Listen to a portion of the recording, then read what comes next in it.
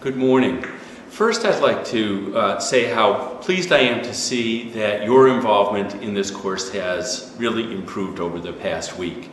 Uh, reading and following the various discussion threads has been really interesting to me, and particularly seeing how uh, many of you have uh, gone well beyond the minimum in terms of your comments and your responses. Uh, it's great. It's very gratifying and it makes the uh, conversations in the discussion board much more lively.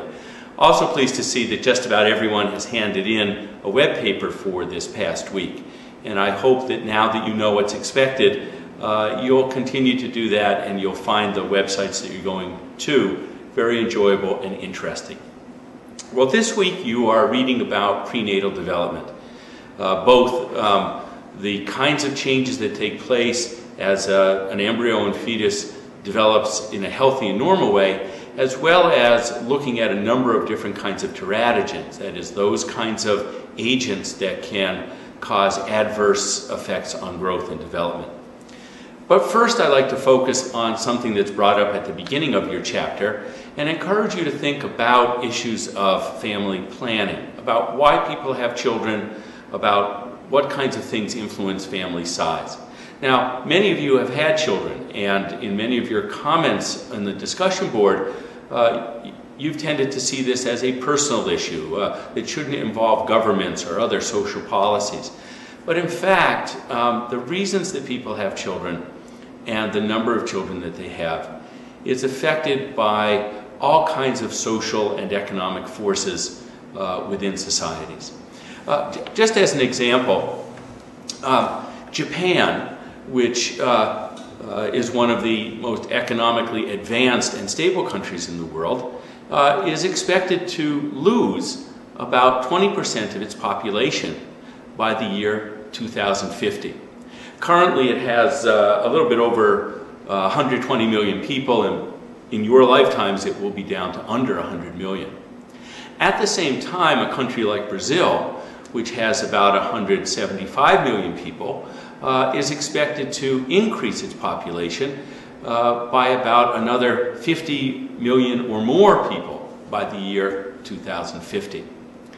Population growth can affect economic vitality directly.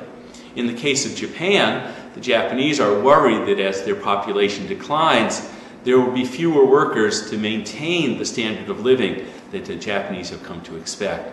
And in the case of Brazil, a, a country in which half of the uh, population is under age 20, the fear is that large numbers of children will um, undermine the kinds of economic growth that would help improve the quality of life for all Brazilians.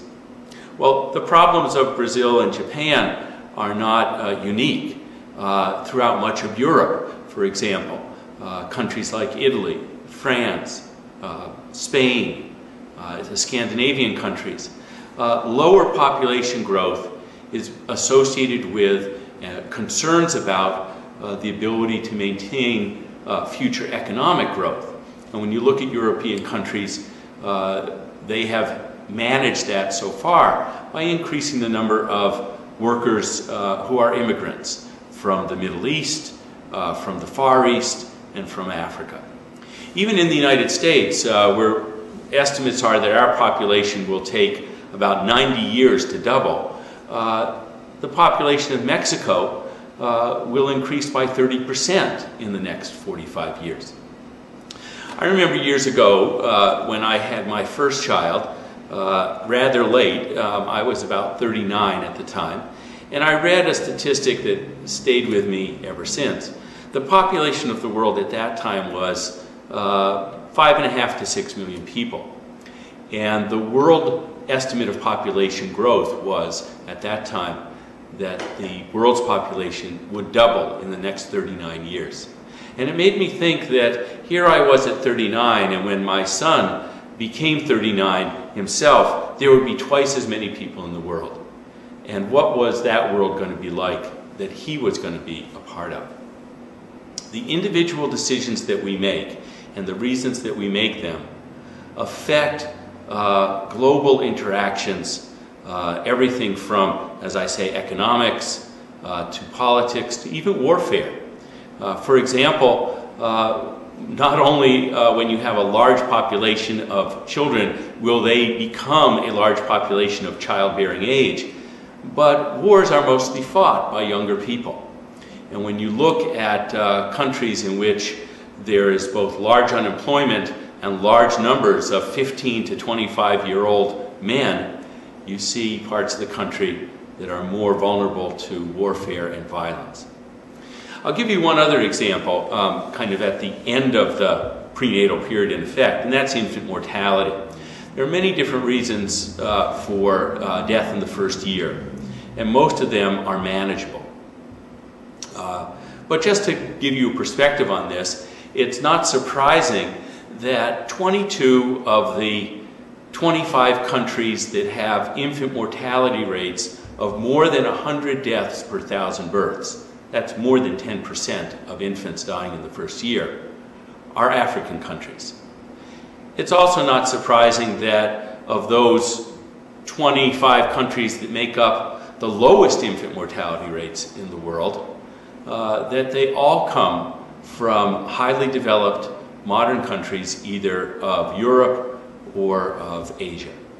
Uh, interestingly, the infant mortality rate in the United States, which I'll tell you the number of in a minute, doesn't even put us in the top 25 in the world today. Uh, that infant mortality rate, by the way, is between six and seven deaths per thousand, which is not bad when you think of it. Uh, even within the United States, however, the infant mortality rate for, say, African Americans uh, runs about twice that of the white population. To give you a slightly different perspective, uh, the infant mortality rate in a country like Japan is about half of that of the United States. If you went back a century, say to 1900, you would find that the infant mortality rate at that time in the United States was about 135 per thousand births, about 13.5%, roughly equal to what you find in the worst of the countries in the African continent that I mentioned just a moment ago.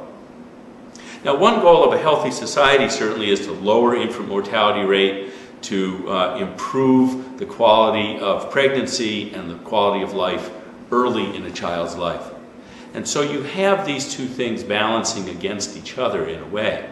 That as infant mortality rates decline, as maternal health improves during pregnancy, the short-term outcome is more accelerated growth of populations.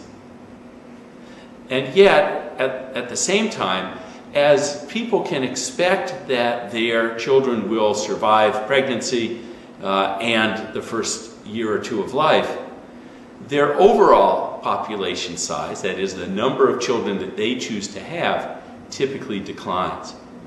Well, there are a number of interrelated, uh, both uh, micro and macro kinds of issues related to family planning, but uh, I'll leave them for now and just encourage you to try to learn more about this as you understand not just your own personal decisions, but how those decisions are being made by the now over six and a half billion people in the world. When you look at um, the prenatal period of time, there's a couple interesting things I wanted to highlight. First of all, it's the shortest uh, period of childhood, roughly nine months, as you know, about 38 weeks. And yet it's a period uh, which has incredible long-term potential effects for better or for worse. You start out with that conceived ovum, that zygote of one cell, and you end up at birth with a baby uh, of some 12 trillion cells. And so both quantitatively, in terms of the number of cells being grown, and qualitatively, that is, what those cells combined allow us to become, becoming an organism that can live independently, there's an incredible amount going on. One of the things I wanted to point out was that each of the prenatal stages, the zygotic stage, embryonic, and fetal periods, have unique kinds of growth that are important for healthy development. You might notice, for example, that in the embryonic period, uh, roughly from the second week of pregnancy through the eighth, all of the organ systems that will eventually be able to support us uh, come into being. And that some of the teratogens that impact early in a pregnancy can cause profound distortions of growth. Uh, rubella, mentioned in your book, which uh, is a virus that can produce uh, offspring or children who have uh, blindness, um, deafness, heart abnormalities uh, in about 25 to 50 percent of cases uh, where the mother has been exposed early in a pregnancy. That would be an example. Another example would be, uh, for instance, uh, something like uh, uh, mercury or lead, a teratogen found, teratogens found throughout um, a variety of environmental sources, which can directly affect development of the brain and nervous system.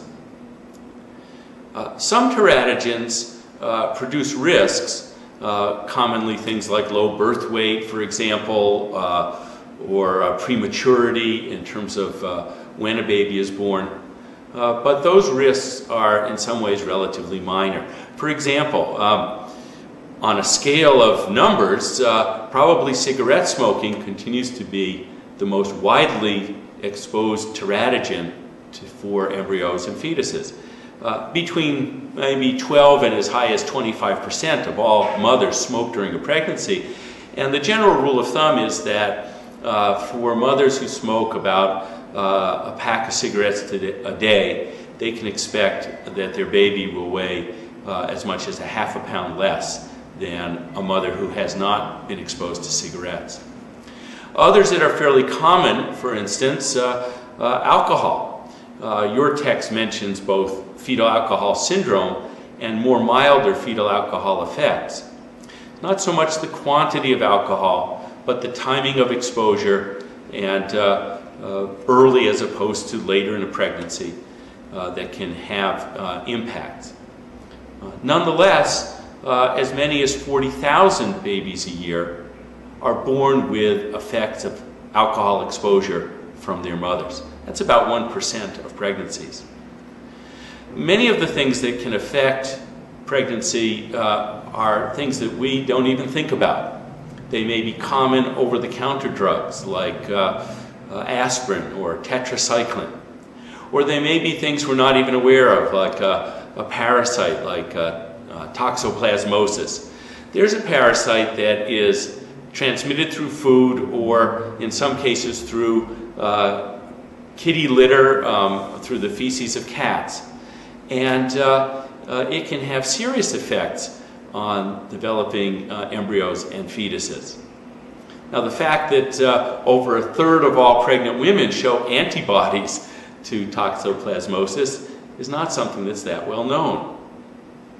And yet, in half the cases of women who have toxoplasmosis antibodies, they pass on some of those effects to the developing embryo and fetus. Well, I'm not trying to scare you. Uh, there are uh, a lot of things that one could be exposed to. I think it's good to keep in mind that uh, uh between 90 and 95 percent of babies born in this country are born uh, healthy and pretty much full term. But when you look around the world and you look at the higher infant mortality rates that I mentioned a moment ago, uh, I guess the silver lining is that most of the causes of those problems are not exotic or strange illnesses or diseases, but rather the kinds of uh, sources of teratogens, uh, poor drinking water, poor nutrition, uh, vaccination against illnesses that have improved the quality of life, life in the developed world dramatically. Again, just to give you one other example um, of this, uh, maybe from the other end of the lifespan, um, the average life expectancy in a country like Japan today, the average Japanese citizen lives to be over 80 years of age.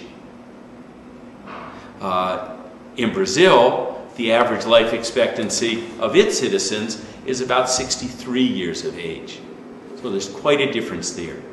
And again, when you look at the United States, uh, at the turn of the last century, at 1900, when we had such a high infant mortality rate, our average life expectancy was slightly under 50. By the end of the last century, the year 2000, Americans could expect to live to be about 75, a 50% increase in a fairly short period of history. Uh, I mentioned African Americans as having higher infant mortality rates, and just as an aside here, I'll mention as well that the average life expectancy of African Americans trails that of white Americans by about 10 years. So the cumulative effects, not just of prenatal issues, but those that continue right through the lifespan, can cause real differences in the quality of life and the quantity of life for citizens. Uh, I wanted to point out one other area before we um, end today. Uh, this chapter, as I say, focuses on uh, various things that can adversely affect a pregnancy. But in fact, many things can help to, if not ensure a healthy pregnancy and a healthy baby, certainly increase its likelihood. So I thought I'd end on the positive a little bit. First of all, good nutrition, good maternal nutrition, starting even before one becomes pregnant, can have uh, a direct effect on the health of the developing embryo and fetus. Uh, average weight gains uh, recommended, for example, for pregnant women uh, are about 25 to 30 pounds. Uh, and uh, uh, women who gain much more than that or much less than that increase different kinds of risks, both to themselves and to their children. increasing proteins, increasing B vitamins, increasing overall calories, uh, can all be effective in uh, optimizing growth during pregnancy. If I were to think of one thing when you look both in the United States and worldwide that is associated with a healthier pregnancy, a shorter labor, fewer birth complications, and healthier children in the first year, uh, it's a correlation uh, that I'll just pass along with you, and that is uh, beginning uh, to have prenatal care with a physician very early on. Uh, when you look at countries like Japan, uh, whose infant mortality rate, as I said, is half that of the United States, or when you look at the United States, whose infant mortality rate is one sixth of that of Brazil. Brazil is about 37 per thousand births. What you find is that healthy pregnancy and healthy childbirth are strongly correlated with uh, regular maternal visits to um, an obstetrician. Probably several reasons for this. Uh, you, most of us don't know what to expect, and physicians do. Uh, we can find out things sooner if there's some change that has to be made, and we can do things about it that will increase the likelihood of health uh, for our children. Even in the United States, when you look at minorities, uh, African Americans, Hispanic Americans, uh, Asian Americans, whose birth rates, by the way, are all higher than that of white Americans, what you find is that the likelihood that they will, those minority population groups will go see a physician on a regular basis during their pregnancies is considerably lower. So if I were to think of at least one social policy uh, recommendation for this country as well as for others, it would be to increase the availability of uh, prenatal care for pregnant uh, women and their partners, and to make that not just available and low cost, but to encourage it uh, as one of the uh, easiest ways to um, lead to a healthy pregnancy and a healthy baby. Well, next week we'll be talking about labor and delivery. Some of you have been there and you know what it's like. Uh, and we'll also be talking about uh, what babies look like when they are born and when they come out of the womb. So uh, enjoy your readings this week. Uh, I look forward to following your discussion uh, on the discussion board and reading your papers. See you then.